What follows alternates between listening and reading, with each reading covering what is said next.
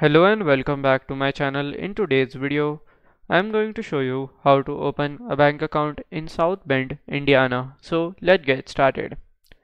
So in order to open a bank account in South Bend, Indiana, we are going to use the Chase Bank because it is one of the most popular banks in United Nations of America.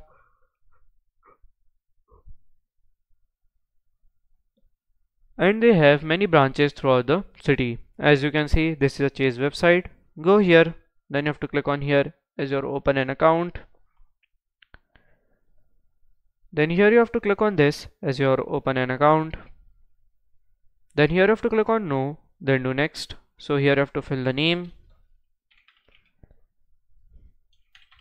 Then you have to do next and then you have to give the government ID and proof of address. Then your account will be opened. So this is how to open a bank account in South Bend city. And if you find this video helpful make sure you like subscribe and share the video. Thank you for your watching